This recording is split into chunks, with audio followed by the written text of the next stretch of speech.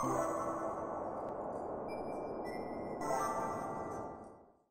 when we look at short run and long run as a concept in economics, people tend to have the mindset that short run and long run, they are tagged to a specific period of time. Like, for example, they think that long run has a concept or notion of being a few years, or short run has a concept of being a few months. So there's actually no such thing, right? Long run in, and short run in economics, they're defined specifically by this. In the long run, there are no fixed factors. All factors are considered to be variable. Whereas in the short run, there are both fixed factors and variable factors. So for example, when we look at operating a restaurant, what are fixed factors and what are variable factors? So fixed factors perhaps would be the renovation being done for the unit, the tables that are available currently in the unit, whereas variable factors can involve the number of chefs, waiters, raw materials in terms of food, ingredients that you can buy. Those would be variable factors. However, in the long run, we will see that all factors will become variable. For example, if your business was getting pretty good and you wanted to increase the size of your restaurant, you could say, for example, buy up or rent adjoining units, dismantle partitions between units, and expand the number of tables that you can have in your restaurant. And so in the long run, fixed factors can sort of become variable